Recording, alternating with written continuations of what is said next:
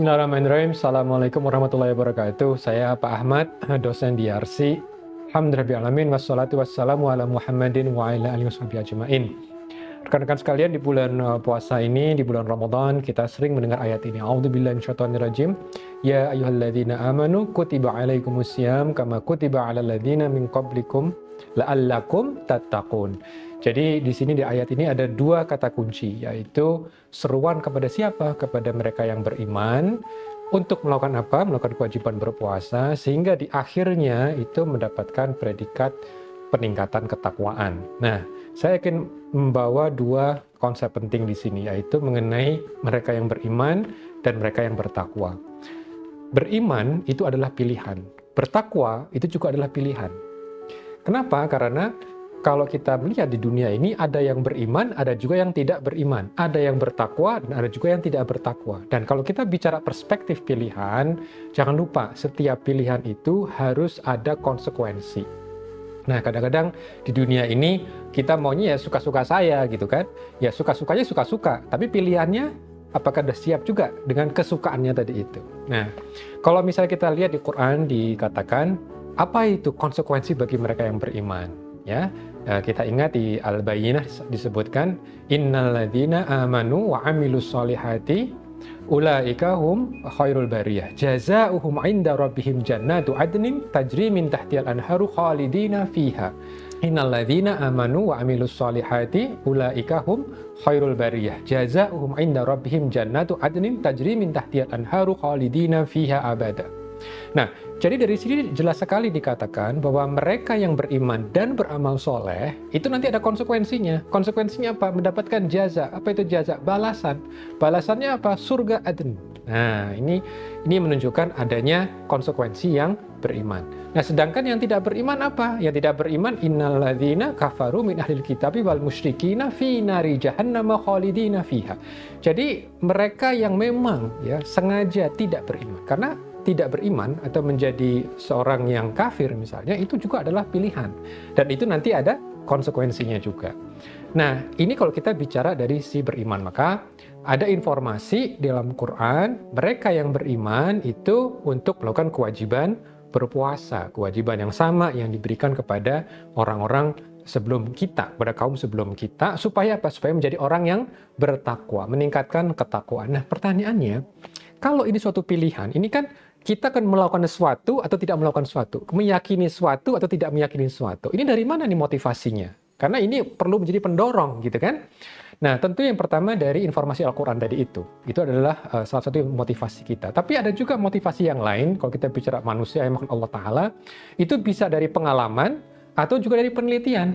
Nah, pengalaman misalnya kita merasakan oh ternyata melakukan ini uh, bagus nih apa namanya konsekuensinya kita kerja keras naik pangkat misalnya gitu. Pengalaman atau juga penelitian.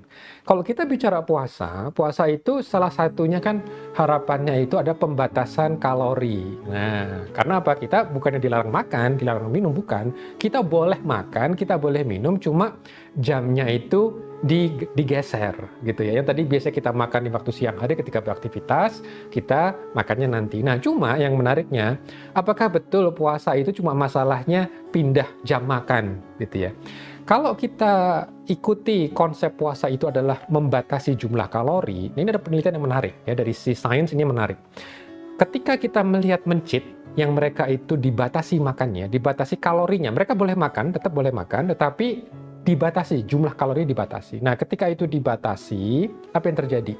Mencit itu biasanya hidupnya berapa lama? Sekitar median uh, apa median kehidupannya sekitar 2 tahun, 2 tahunan lah gitu. Kalau dibatasi makannya dibandingkan mencit yang tidak terbatas makannya suka-suka mereka ad libitum gitu ya makannya, ternyata jangka hid waktu hidupnya lebih panjang mereka yang kalorinya terbatas. Nah, ini menarik. Dan yang lebih menariknya lagi, ketika mereka makan yang sangat sedikit tadi itu yang terbatas kalorinya, ketika diberikan di waktu mereka aktif. Jadi di waktu malam karena mencit itu binatang nokturnal. Jadi mereka aktif di waktu di waktu malam. Itu akan lebih lama lagi uh, hidupnya. Dan bukan cuma masalah hidupnya lama, hidupnya sehat. Artinya apa? Mencit-mencit ini uh, lebih susah sakit-sakitan, nah, gitu ya.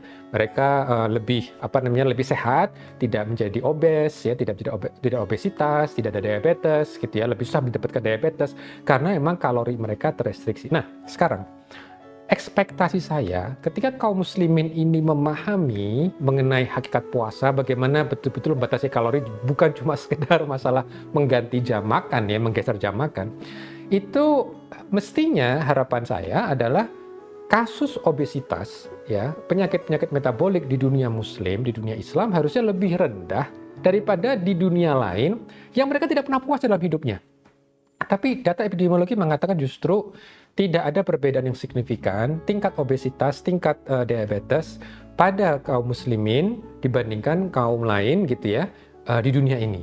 Nah, artinya ini menjadi satu hal yang kita perlu uh, kita perlu apa ya tadabur gitu ya. Kita perlu introspeksi. Memang tidak salah untuk hanya sekedar menggeser jam makan gitu. Tapi ingat, kan kita inginnya menjadi orang yang bertakwa. Orang yang bertakwa itu adalah orang yang menjalankan perintah Allah dan menjauhi larangan Allah. Untuk bisa menjalankan dan menghindari larangan Allah, tentu kita perlu tubuh yang sehat supaya makin bersemangat gitu. Nah, jadi memang kita perlu takwa plus gitu kan.